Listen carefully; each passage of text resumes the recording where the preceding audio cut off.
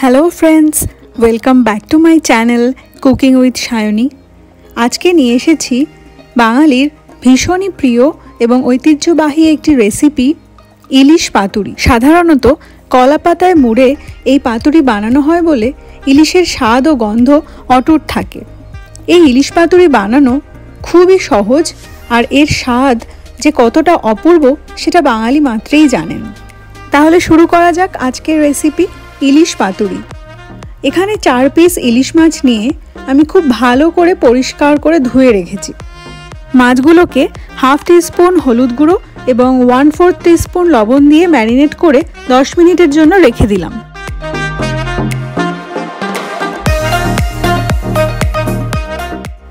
এখানে আমি নিয়েছি দুটো কাঁচা লঙ্কা আর টু টেবিল স্পুন সাদা সর্ষে এবং টু টেবিল স্পুন কালো সর্ষে আমি জলে ভিজিয়ে রেখেছিলাম।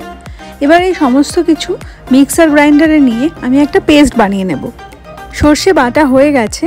এবার এই সর্ষে বাটার সাথে আমি অ্যাড করে দিলাম ওয়ান থার্ড কাপ ফ্রোজেন নারকল কোড়া। আপনার কাছে ফ্রেশ নারকল কোড়া থাকলে অবশ্যই সেটা ইউজ করবেন। আরও একবার মিক্সার গ্রাইন্ডার ইউজ করে আমি পেস্ট বানিয়ে নিলাম। আর এই সর্ষে নারকলের মিশ্রণটা একটা মিক্সিং বোলে আমি ঢেলে দিলাম। এর সাথে অ্যাড করছি ওয়ান ফোর স্পুন হলুদ গুঁড়ো। হাফ টি স্পুন লবণ, এখানে আমি পিঙ্ক সল্ট ইউজ করেছি, আপনি রেগুলার সল্টও ইউজ করতে পারেন। আর ওয়ান স্পুন সর্ষের তেল। সব কিছুকে খুব ভালো করে মিশিয়ে নিচ্ছি। এবার আগে থেকে নুন, হলুদ দিয়ে ম্যারিনেট করে রাখা মাছগুলোর সাথে এই মশলাটাকে খুব ভালো করে মাখিয়ে নেব।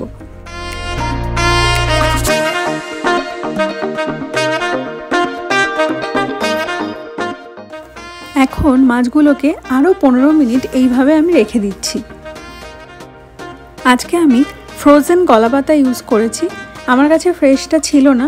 আপনি যদি ফ্রেশ কলাপাতা পান, তাহলে অবশ্যই সেটা ইউজ করবেন। এই ফ্রোজেন কলাপাতা আগে থেকেই সেকে রাখা থাকে, তাও আমি এই সময় কলাপাতাগুলোকে একটু সেকে নিচ্ছি।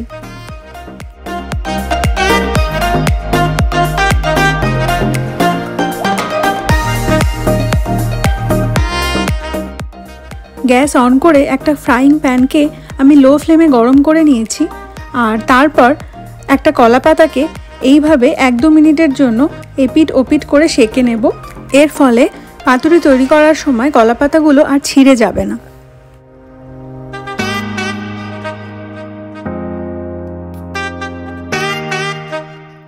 প্রতিটা কলা পাতাকে এই একইভাবে সেঁকে নিলাম। পনেরো মিনিট হয়ে গেছে মাছগুলো ম্যারিনেট করে রাখা হয়েছিল। এইভাবে ম্যারিনেট করে রাখার ফলে পাতুরি বানানোর পরেও মাছগুলো খুব জুসি এবং সফট থাকবে। এরপর একটা কলা পাতা নিয়ে তার উপরে এইভাবে কিছুটা মশলা আমি রেখে দিলাম আর এই মশলার ওপরে ইলিশ মাছটাকে আমি দিয়ে দিলাম। আরও কিছুটা মশলা মাছের ওপর মাখিয়ে নিয়ে উপরে রেখে দিলাম। দুটো কাঁচা পাকা লঙ্কা। এই লঙ্কা দুটো দিলে দেখতে খুব সুন্দর লাগে, তাই জন্য আমি দিয়েছি।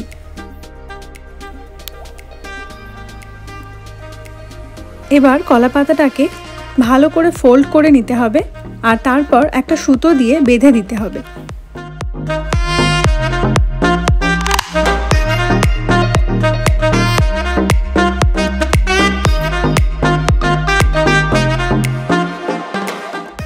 এটাকে এমনভাবে বাঁধতে হবে যাতে কোনোভাবে কলা পাতাটা খুলে না যায়। আমি লম্বালম্বি এবং আড়াআড়ি দুরকমভাবেই ভালো করে সুতো দিয়ে বেঁধে দিলাম। এটা এখন রেডি হয়ে গেল। এই একইভাবে আমি প্রতিটা ইলিশ মাছকে কলা পাতা দিয়ে মুড়ে সুতো দিয়ে ভালো করে বেঁধে দিচ্ছি।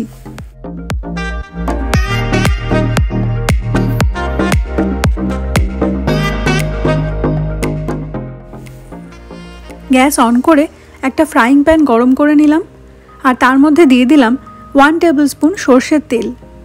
সর্ষের তেলটা খুব ভালো করে গরম হয়ে গেছে।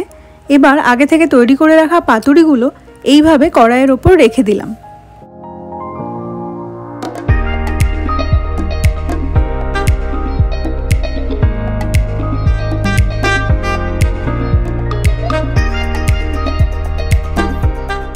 এবার কড়াইটা ঢাকা দিয়ে দিলাম। আর ফ্লেমটাকে একদম লোতে করে সাত মিনিটের জন্য আমি এইভাবে রান্না করছি।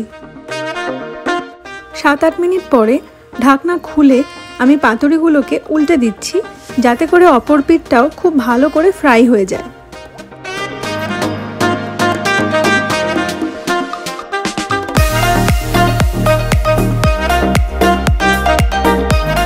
দশ বারো মিনিটের জন্য আবার লো ফ্লেমে ঢাকা দিয়ে আমি রান্না করছি।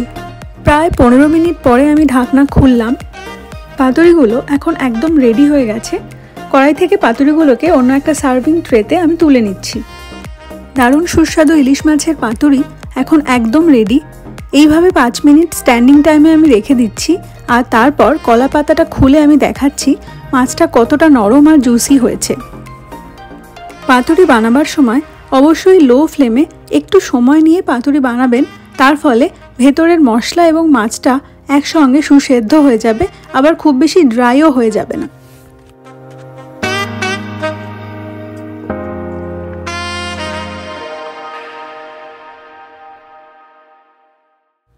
কলা পাতাটা আমি খুলে নিলাম। দেখুন, মাছটা কত সুন্দরভাবে সেদ্ধ হয়ে গেছে। গরম গরম ভাত আর এই ইলিশ পাতুরি। ব্যাস, রবিবারের লাঞ্চ কিংবা ডিনার কিন্তু জমজমাট। আমার আজকের এই ভিডিও ফলো করে আপনিও ইলিশ পাতুরি বানিয়ে ফেলুন আর আমাকে কমেন্ট সেকশনে জানান কেমন লাগল। আজকের ভিডিও ভালো লাগলে লাইক শেয়ার এবং সাবস্ক্রাইব করে নেওয়ার অনুরোধ রইল। দেখা হচ্ছে পরের ভিডিও নিয়ে। ততক্ষণের জন্য বাই